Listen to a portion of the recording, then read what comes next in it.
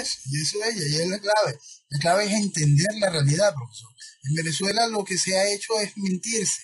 La sociedad se ha refugiado en todas y cada una de las mentiras, desde la mentira del papá Estado a la mentira de las vías institucionales o democráticas para la salida de un proceso revolucionario. Aquí lo que ha habido es un festival de mentira tras mentira, mentiras avaladas por la estructura, diseñadas por la estructura política de gobierno y oposición, mentiras avaladas por la estructura académica de la nación, mentiras distribuidas por la estructura comunicacional de la nación. Entonces, bajo ese esquema de mentiras, ninguna sociedad puede avanzar. Cuando hemos reflejado eso en una sociedad que tiene muerto el espíritu, una sociedad que le han ido acostumbrando a un proceso de, no, ¿para qué vas a intentarlo? Simplemente no vas a poder y cualquier cosa te la vamos a resolver. Esa sociedad simplemente no tiene capacidad de reaccionar. Por lo tanto, volvemos a repetir, no esperen por el país. Hay que esperar generar una vanguardia que encuentre, eso sí, una masa crítica suficiente que le brinde el respaldo para poder alzar su voz en la ejecución del cambio que se busca en Venezuela. Es tan interesante ver, por ejemplo, los ejemplos los tenemos. No van a decir que no los dieron. Cuba es un ejemplo. Y la tenemos hace 60 años, 65 años, lo que sea. Estamos ante hecho que los ejemplos los estamos viendo. El sufrimiento lo estamos viendo.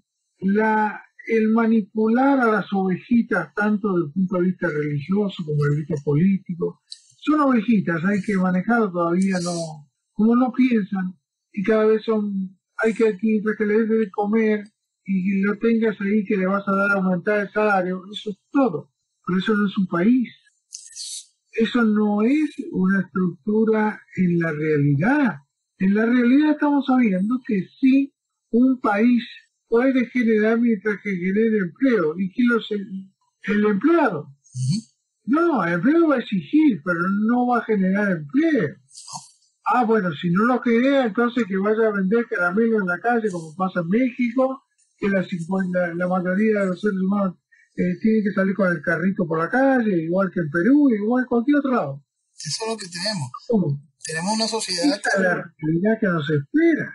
Esa es una realidad. pueden generar empleo. Perdón, profesor, es una, no es la realidad que nos espera, es la realidad que nos sembraron. Aquí se, eh, en, en, en nuestros países como se le ha ido durante años generándole un odio a lo que es lógico que sea correcto. Aquel tiene plata, hay que odiarlo, ¿no? El que tiene plata te va a dar la oportunidad del desarrollo de una nación. Lo que tiene que hacer la nación es generar el marco legal para que se pueda ejecutar con las libertades económicas necesarias y con los cuidados naturales que tiene que tener una sociedad el desarrollo armónico de la misma. Eso es lo único que tiene que hacer un Estado realmente. Entonces, es lo que nosotros tenemos hoy. Lo que tenemos hoy es el bagazo de un proceso de destrucción de la sociedad. Esa sociedad, ese bagazo general que es la sociedad, un porcentaje de la sociedad de nuestro país, hace un peso negativo, un peso criminal a la hora de elegir la estructura política social que va a generar, la estructura política que va a generar la dirección de una nación. Pero es ella la responsable, ¿no? Ella simplemente es un instrumento. El responsable son las élites de las naciones. Y eso es muy importante entender. Esa masa va a seguir siendo veleta, va a seguir siendo útil y dúctil a las necesidades y a los planteamientos de, de quien busca algún esquema o diseño de país y pueda llevarle, hablarle el idioma que necesiten. El asunto es, ¿dónde está la dirigencia, dónde están las élites de una nación para decirle a un país, ese camino no es? este personaje te representa algo que está podrido, algo que es negativo. Y no es en el momento puntual del proceso electoral, es un proceso educativo constante a la sociedad donde se pueda la sociedad aprender a identificar las cosas que le hacen daño a su país y por lo tanto a él y a su familia. Eso es lo principal. Que exista hoy el caso peruano, que es una cosa que hay que ponerla en una fotografía muy cara, muy, muy, muy clara. Que exista hoy un personaje como Pedro Castillo a punto con posibilidad de tener el control del el Perú mañana, es una de las mayores demostraciones del fracaso como sociedad que tiene hoy Perú. Que un personaje como Chávez haya llegado a, gobernar el país por elección popular es una demostración rotunda del fracaso como sociedad que, que, que tenía ya Venezuela en aquel entonces. Porque la sociedad tiene que aprender la élite del país, la estructura pensante, responsable de una sociedad que sigue lamentablemente sin evolucionar, tiene que saber enseñarle a la sociedad que aquello es porquería y enseñarle que aquello destruye, que aquello mata, que aquello causa caos. Entonces, ¿dónde está el principal problema para que lleguen este tipo de personajes que generan este tipo de caos? En las élites de las sociedades que están igual de podridas, porque si no hubiesen alzado su voz. Creo que por eso te digo, ¿no? Este, fracasamos nosotros, los que estamos teniendo el poder de la comunicación, fracasan los partidos que no saben llegar al hombre común que está sentado viendo televisión, con el hecho de que cada uno de esos grupos, siendo de derecha o izquierda, le va a prometer mañana aumentar el salario y mañana va a mandar a sus hijos al colegio, mañana que no pague la deuda. Ese es lo que de una, una forma lo demás las personas no que se quieren hacer el esfuerzo, cada día trabajan en vez de 40 horas, ahora quieren hacer cuatro días de semana. Eh, ¿Dónde está, dónde tenemos que empezar a pensar como sociedad? Porque esto está llegando a todos los ámbitos. Está llegando a la sociedad norteamericana que está desbalanceado por un 3, 5, 6% y la va a llevar a la destrucción. No es la totalidad. Es que cuando tú pones, en el caso particular de mi país, los Estados Unidos, si un 10% te vino y es socialista, vota o rompe el balance norteamericano que siempre subía cada, cada ocho años subía una, por decirlo de más centro izquierda o centro derecha, y el 10% que son socialistas, que vienen educados como socialistas, van a votar a la izquierda, yo creo que lo que tiene que ser, si todo el mundo vota, el 10%, el 5, el 8% va a tomar el control político de los Estados Unidos.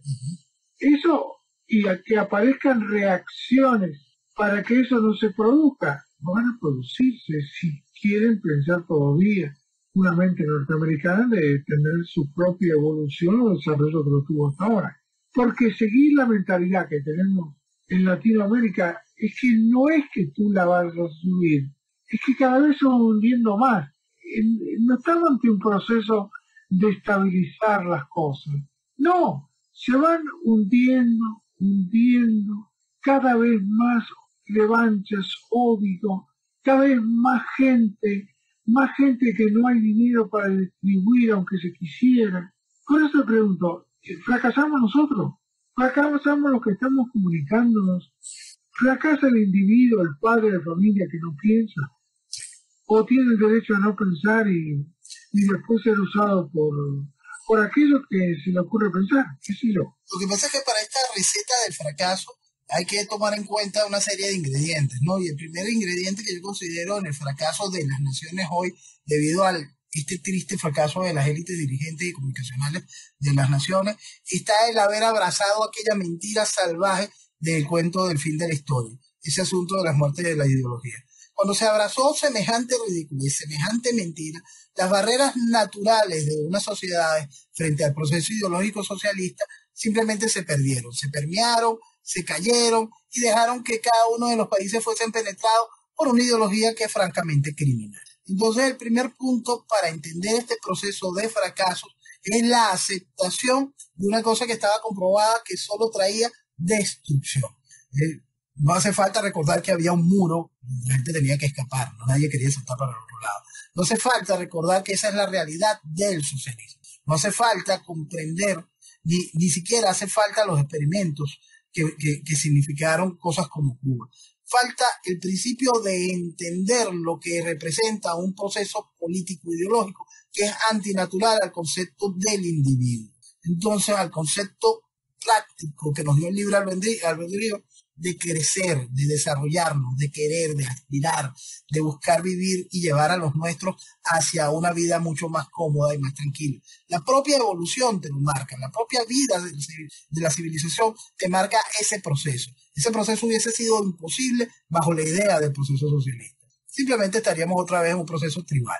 El asunto es comprender en ese momento en que se, se tomó esa mentira y se dejaron penetrar por esa influencia malsana del marxismo, en todas las sociedades y posiciones de gobierno, se fracasó y se entregó a los países a este caos.